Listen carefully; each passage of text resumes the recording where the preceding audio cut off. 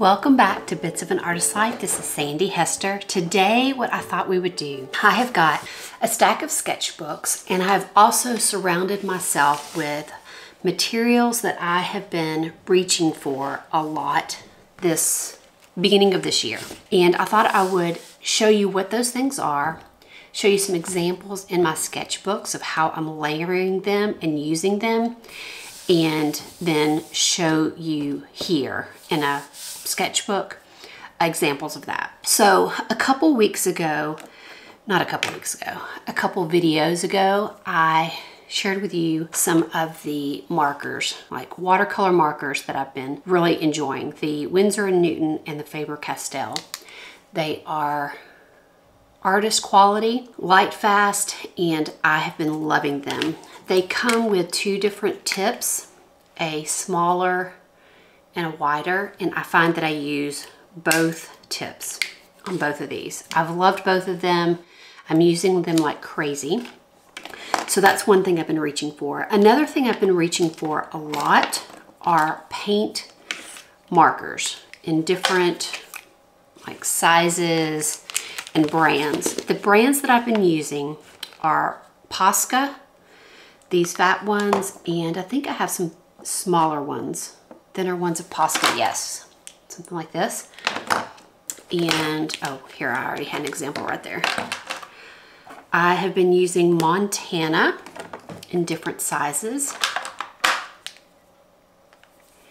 And the newest one is Liquitex. I will tell you, the Liquitex has a shiny, like it will, it will dry shiny, where these other brands will dry matte. But the way I've been mainly using them avoids the shine for the most part. But I also don't mind the shine and it's not, it's not um, shiny enough where the pages stick together. You know, like if you use regular acrylic, not acrylic gouache or something that's more matte, the pages will stick together in your sketchbooks. With this, it doesn't. I've not found that to be an issue. The other thing I've been reaching for a ton are my Neo Pastels, or just oil pastels, period. Sennelier. Neo Pastels are my favorite. Um, but I've been reaching for these a lot and using them in a way where they're not so gloppy and in a way where you can work over them. And I'm going to show you how I've been using them to be able to work back on top of them because usually you can't work on top of those very easily. The other thing I've been reaching for is old, almost dried up acrylic gouache and also Flashe paint. I'm going to put Flashe paint in the same bundle family. Flashe paint is basically acrylic paint. It's a vinyl paint. Flashe, F-L-A-S-H-E. It's a brand. It's been around way longer than acrylic paint and I love it. It dries matte. I have a mixture of all kinds of stuff in these little pots. This is what I used to use for traveling and I pulled them out recently and they're real gloppy and I've been loving that because it's been giving me texture and I'll show you how I've been using that. The other thing that's become just a constant are color pencils. I have a video out that I share my favorite color pencil colors. So all of those things I've been using and layering. Oh, I got this page out because I was going to show you some of this. Um, I do want to go ahead and lay some of this down before I show you some of the sketchbook examples because I want to I want some of this to dry. So this is the Liquitex and this is cadmium red light hue. And because this is shiny, really it doesn't matter if it's shiny or matte. This is how I'm often putting it down. Putting it down like this and then just rubbing it. It leaves a nice texture and it doesn't shine. Plus it just gives me like something, just a, a shape to work over. I'm gonna put some of these blobs down because I wanna show you, whoa, that was way more than I meant to do, but we'll just kind of go like this. I am someone who gets their hands in their paint a lot. Same with my markers. I am often, you know, let's say if, if I'm even just doing like a tree trunk, I'll do this and then get my fingers in it. One of the things that I love about that it leaves a nice texture, but it also, my fingers end up getting really dirty And so then when I start smushing, it adds extra color to whatever I'm doing. And I like that. It just creates color and movement in a way, um, you know, just I, where I wasn't expecting it. Okay. Let's see.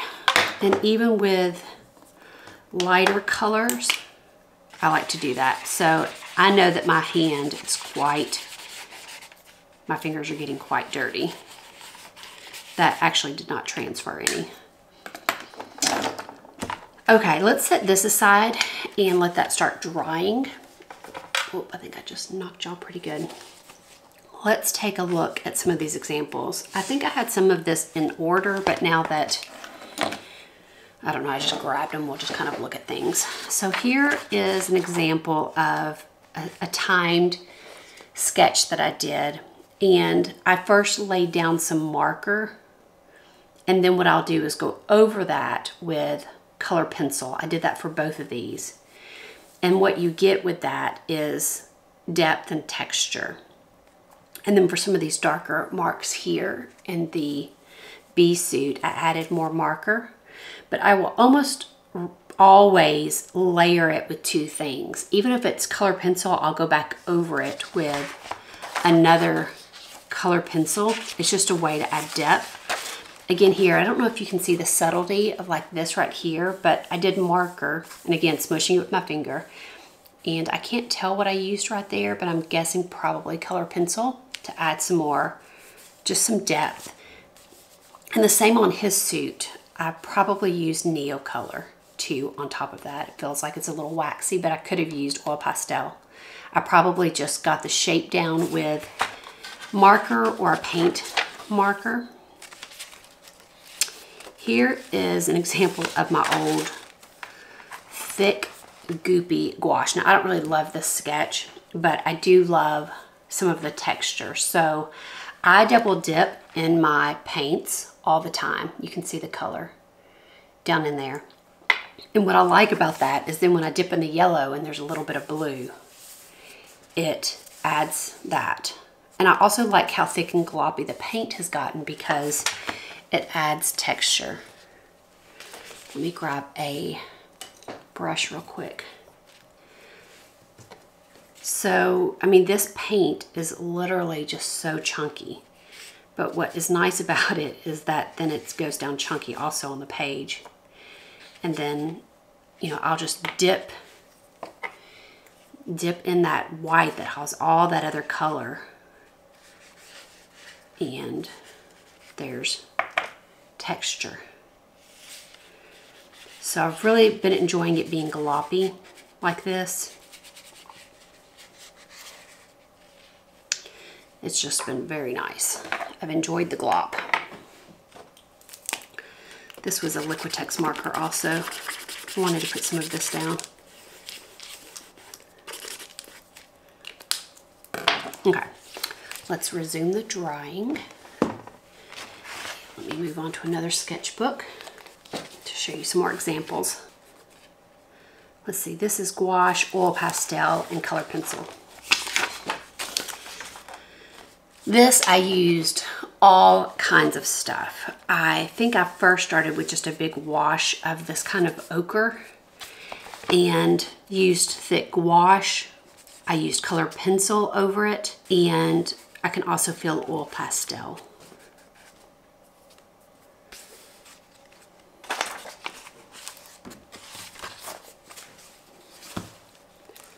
Let's see, this is an example of gouache and color pencil. And you can see, again, because of the thick wash, the movement in that paint all around. Dirtied paint, glopping it on. And then I went back with color pencil to add in some of the detail and to bring out the birds here and here.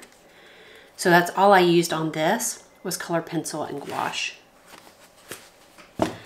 Let's see, I have a bunch of examples in here. Let's see, all right, we'll do this one. So one of the ways that I've been using my markers, my watercolor markers and my paint markers, I will just put a blob down like I was doing here. If I know I'm going to do a figure, put it down, blob it in uh, for the arms, and then just smush it. And then go back in and you can carve back into that with color pencil, with more markers, anything. that way I've got some loose, I've got nice texture there. I've got some more examples. These were also done, oh, I didn't have that in shot, did I? With, uh, this is done with this Liquitex marker. I just laid down a big shape.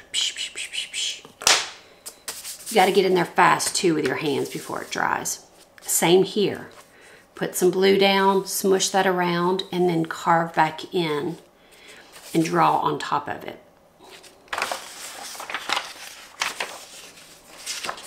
Um, often y'all ask me why I skip a page. It's because at some point we're gonna start making books of my sketchbooks. And when you scan those in, if you've got something on the backside on thinner paper, like I use here with these Royal, Royal Talens, it will show through. This was done at a coffee shop, uh, on location, at a coffee shop, quick sketches, and I used that same thing, using things like I think I used this Montana paint marker, which is, oh no, I don't have my glasses on. I think it's shock yellow. Just a big shape, kind of the, the shape that I was thinking, fast. Smush, smush, smush. Then I let that dry and came over here, I did the same thing. Kind of just got the shape and smushed it in. And because of that, I get some interesting shapes. All of this, same thing. Put marker down, a lot of times I'll have a dirty finger, I'll smush some more, but that's just how I'm getting some of these textures. Same thing here. Her little face, I used this beige red marker. I would just kind of get the, the area, smush it in, and then with things like her cheeks, I would go in with something brighter like this um, pale rose. And let's, uh, let's act like this is the face here. I don't have anything in front of me to just kind of look, so I'm just gonna make this up. But like, let's say, okay, here's her hair. I would probably take something like this. A lot of times I'm just sneaking up on it and blocking it in. Whoops, that's all still wet blocking in some eyes.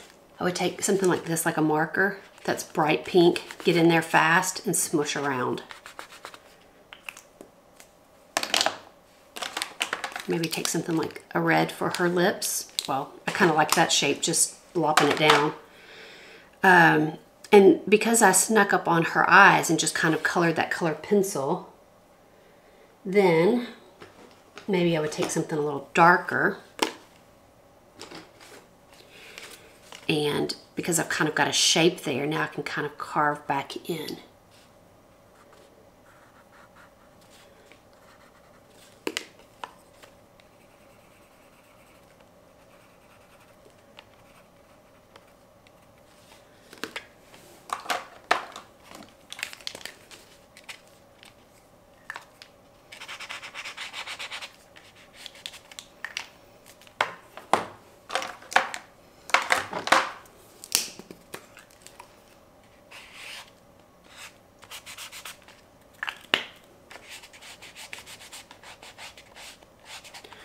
Forever getting my fingers in there. And I like using multiple different mediums because it gives you different texture.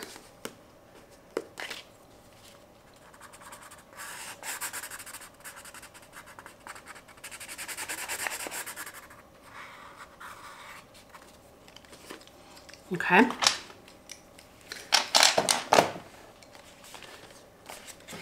Also what you could do here is, let's say you wanted to lighten that. Maybe you're like, oh no, her face is way too whatever. Well, maybe I'll take a color pencil, a lighter color pencil, and work on top of that and see if that works.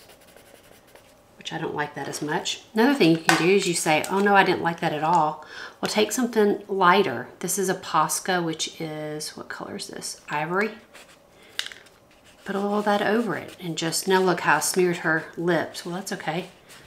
Let's just smear it all. And then we can, once that dries, go back into it. And all that is is building layer and layer and layer, which is, to me, quite wonderful. I doubt that's dry yet, but let's just see. So then you can just go back in.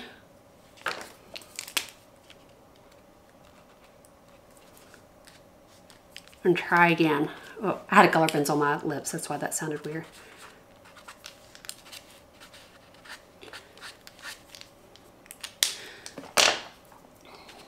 And so let's say that cheek went out further than what we wanted. Well, that's fine. Let's just carve back in.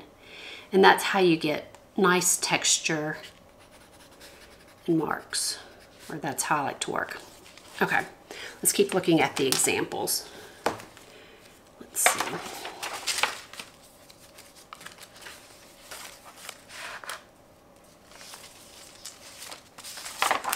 This is one where I used all the things. I used color pencil, I used acrylic markers, watercolor markers, oil pastels, and just kept building up. I'll show you in just a minute how I use the oil pastels where I can continue to work on top of them. Let me finish these examples. This is another one where I used all the things and just kept building and building and building and pushing things back. And you can just see how you get really nice texture in that. And another one with all the things. This one was done very quickly and, and I, I didn't even put an extra color for his face. The background was this color. I'd been layering. Uh, I think I had started on his face, didn't like it, so I did that kind of blop it out with probably something like this Liquitex parchment. I probably had a dirty finger, smushed it, and then it turned this weird color. So then I just drew his face on top of it. Oh yeah, I remember because his hat was red and it looked weird. That's what made, when I added that Liquitex marker to that parchment, it smushed and made this color. So then I just built his face and her face into that. Okay, one more example. Okay, this is also, see how I started these? Big just shapes, that's how I started these. I just kind of blocked in the shape. You can see this Liquitex. What did I use there? I probably used either this ivory, what is this? This is beige. I have a beige and an ivory Posca that I really like. And I'll just put some down, smush around, which was nice because it made his hair. And then just kind of get the shape. And then I went back over it with color pencil just drawing things in. And then this is marker. And the same for these figures. And the same here.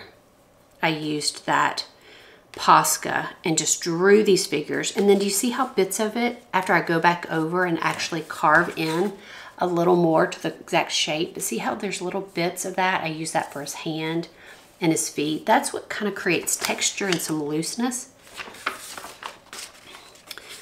So I'm going to use this as reference to just draw. And let's go back over some of our shapes, our blobs that we made.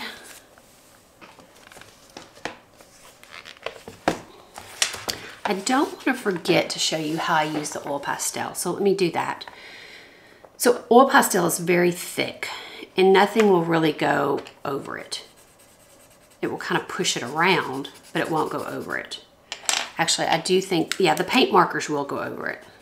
Yeah, that will go over it. But one of the things that I do a lot is I'll put that down and then smush it in. It kind of gives you the same effect that smushing in the markers does. And because of that, once you smush it, not only does it give you great texture, but then you can go back over it a lot easier with colored pencil, which is super nice. You can't go over it like amazing, but you can go over it a lot better. And then you can keep going back over it if you want. So let's take a white. Let's say I wanted to push all of that back some. Say I could just put some of that white like that and then get my finger in there and smush. And look at all that nice color and texture that's creating. And then I can just keep going back over that if I wanted to. And still my pencil will go over that for the most part. Again, not, not amazing, but it will go over it. And sometimes it, it uh, picks it up, kind of moves it around, which is nice to me too, because it creates some nice chunks. Okay, let's say that this is my guy or a person. I'm gonna use this. Is it dry? Yes. Now I'm, I'm slightly making this up and then partially using that guy as my guide.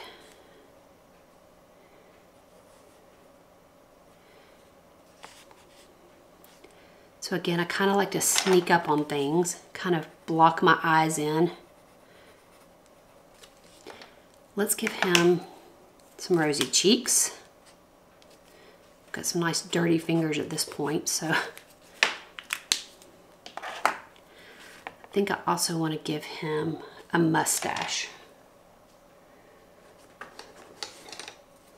I'm gonna grab a color pencil and give him a cute little mustache.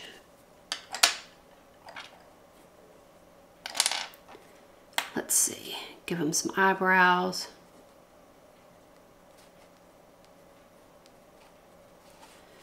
And let's give him, let's see,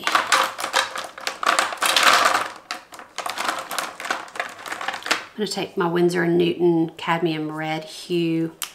Let's just put a little bit down like that and smush for mouth. And I'm gonna give him a nice blue shirt. We're gonna kind of give him a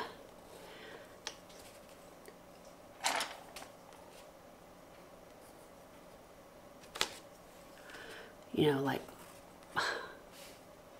slumpy. my little pocket. His arm.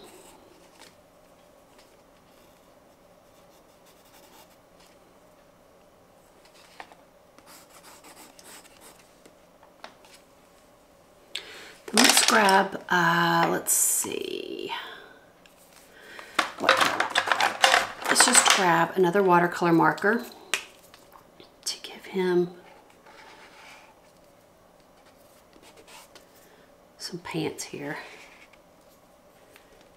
Ooh, I think I got, gave him kind of a big bump. And see, then what I can do is carve back in around that hand.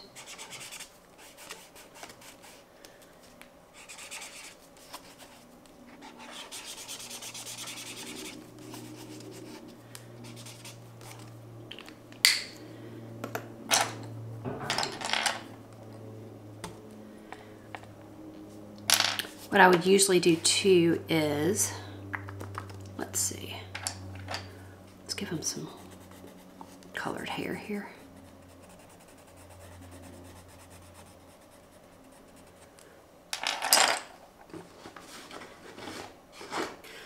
Let's knock these pants back just a little bit.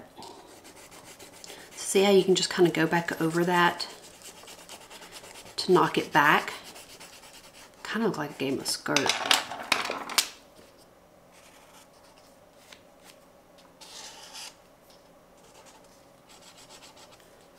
but that's okay. So that's how I would do that. Now let's take this example right here of this tree. I just did a nice dark shape. Then what I can do is go back in with other things, other colors, even things like this beige red, and start building in other color. Layering that color smushing things in, going in with my color pencils over that, either to lighten or just to add color. But I don't have to start with what was there, what color I actually saw.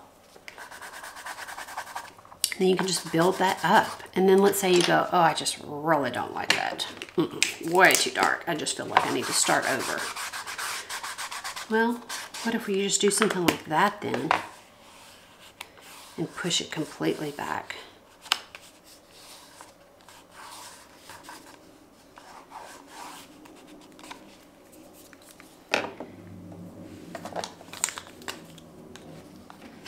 While that's still wet, add some color to it.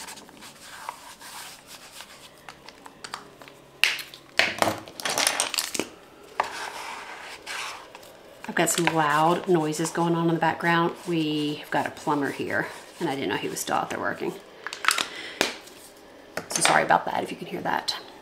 So once that dries, then you can keep working into it. But again, let's take this right here and make this into a face.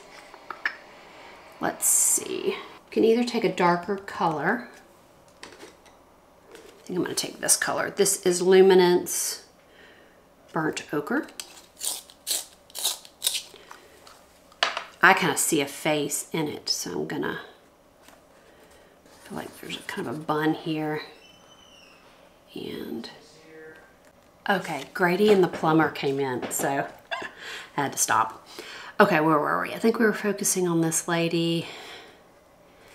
I guess I just mainly want you to see like, see how I'm carving in and there's bits, you know, outside of, um, of the screen or even just the fact that we're using something different, like a green for a face is interesting, or at least it's interesting to me. And then how we can just carve, you know, carve back in and use materials and and then let's say whoa see we got our big old mouth. Way too big. Well that's okay. Let's well let's try our neo pastel let's do a green since we're here with the green. And what about some pink for some cheeks? What can we get there? Ooh, let's give her some fun orange hair maybe.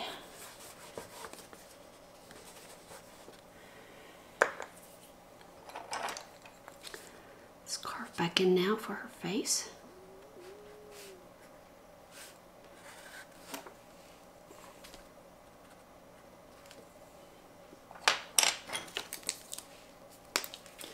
I just don't fear mistakes because of this process of being able to go back in. And I just know that it adds. It doesn't take away. It gives me freedom to play.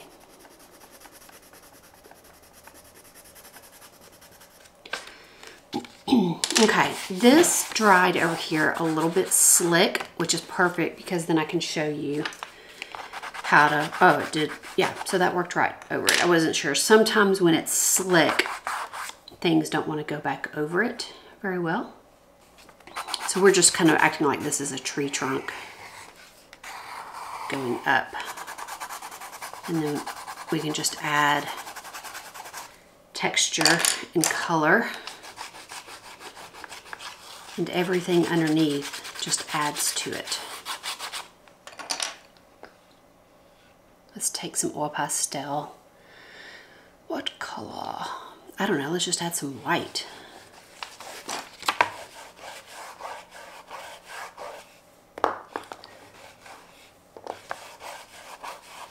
One of the things that's nice is then when you do get some resistance, it actually, I really like it. You do have to be a little careful. So I've got oil pastel there, or if I had neo color, and then I take my watercolor marker, this, it can get gunked up. So you may want to like wipe it off someplace because it can pick that up. If it's water soluble, it can pick it up. which the oil pastel is not, but if you were using Neo Color, could be.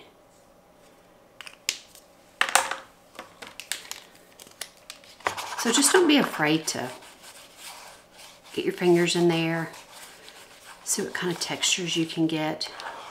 Maybe scrape your fingers through it. So these are all the things that I've been playing with and layering with, whether it's landscape or figures or just whatever. Whatever I'm using, or whatever subject it is. Should we see if we can get this lighter? Yeah.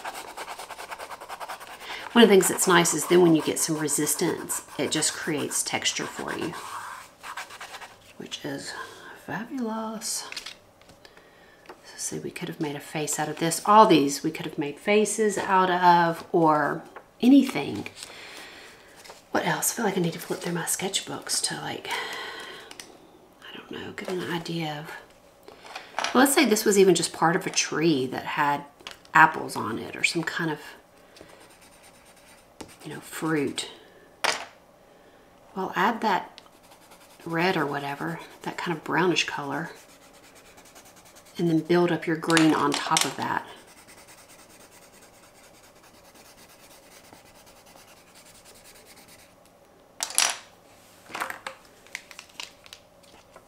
Put a little blob down and then smush it. Don't be afraid to go over those apples. Apples.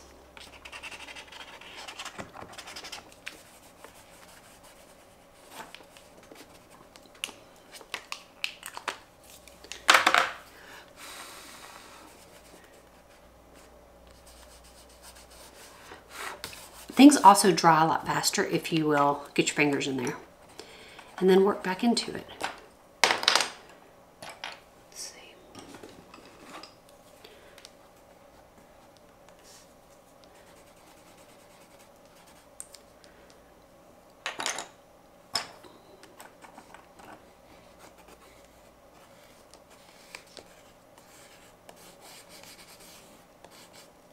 I don't know what I'll see. Now that was weird, so let's just blob it out.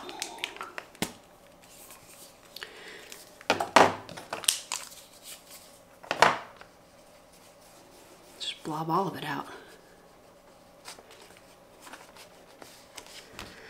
Okay, anything else that I wanted to show you? I didn't, I feel like I didn't show you much of the paint, but I think I just wanted to show you how I got texture. And then what I'll do is also, you can just work right into this, right back over this. That's what I, I do that all the time. Just work right back over it. Put it down and then work over it, doing the same thing, smushing.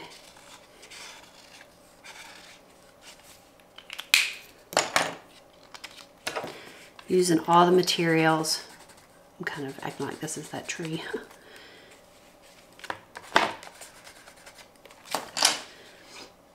Pushing things around with color. But I thought it was especially important to show you, like with the oil pastels, how you can work back over it if you'll get your finger in there and do some smushing. Can't work back over it perfectly, but way better than if it was just regular. See, I want to just kind of keep working on all of this because it feels fun. At this point, it's like super exciting. So even this right here, to me, this would just easily turn into a face. I'm like about to sign off and here I am like, oh, let's, let's just keep on. Also like when some of these paint markers are like not real juicy, you have to kind of pump down on them to get the juice. And I feel like it's creates some nice texture. So to see that that could be kind of your your basis of your face and then you could start working back into it.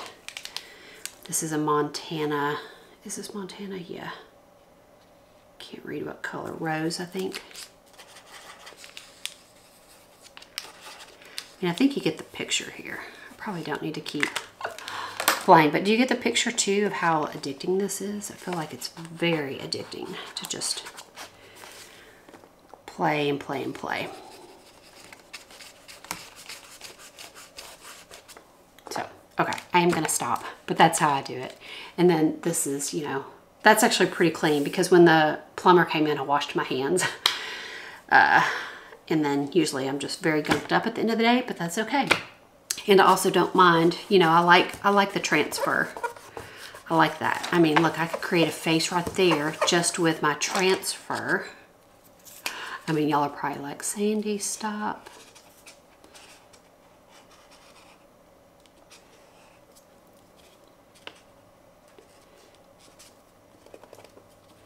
Okay, you can just put a little blob there, smush it around, and you've got an eyeball. Just like that.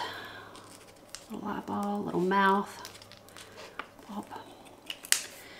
And then going back in and just continue to work into that. Okay, I've already showed you. Uh, let's stop. Uh, again, I hope this was helpful and I hope you picked up some things and I hope that it makes you want to go and play and smush your things around. See what you have even maybe take kids' crayons. It just really doesn't matter. Play, experiment, make a mess, and practice kind of layering and getting texture and depth. I think that's what this does for you. It helps you stay loose and creates depth. If you've enjoyed this kind of video where you get to see me get my hands in there, how I layer things, even if you're someone who doesn't like to layer things, you just use one type of medium, I think people don't use even one individual medium in the way that they could use it because you don't get your hands in there. Um, if you're, so what I was gonna say is, if you're interested in seeing more of how I use different types of mediums, how I get my hands in there, if you don't know, I do have a class. It's a landscape class. And even if you're not interested in the landscape, painting the landscape, this class is eight hours of me getting my hands in there. You get to see how I layer things. You get to see how I go out in the landscape, observe something, take what I call notes, basically quick sketches, and then bring them back in the, into the studio and make more works from those. I use all the mediums. Even if you don't use all the mediums, but you are interested in how I use different things, this could be a really good class for you. I'm gonna have a link below where you can go check it out. For some reason, I'm like, out of breath. I don't know why. So I do hope this video has been helpful, that you've enjoyed just seeing how I push things, uh, either a little like literally physically push things, but then also how I kind of push materials and um, layer and try to bring depth into my work. So again, that class is really helpful for seeing how I do that. But I also just hope you've enjoyed this video. Let me know if you've enjoyed this type of video. And oh, the other thing I was gonna mention, a lot of you have asked about my earrings. My friend Joanna made these for me and I love them. I'm gonna put a link below to her, either her website her Etsy shop, probably her website, in case you're interested. She makes just amazing art, really fun stuff. And uh, I wear I feel like I wear these earrings all the time now because I just love them. They're fun. Let's see. I think that is it for this week. So I will see you back here in two oh I did want to say this. You've already probably like pushed end thank you guys for your outpouring of love to us and our family for the loss of Cooper guys were just uh, so sweet and grieved with us. And I just really appreciate it. So I wanted to thank you guys for that too. Okay, see you in two. Wrap it up. Wrap it up, Sandi. Wrap it up.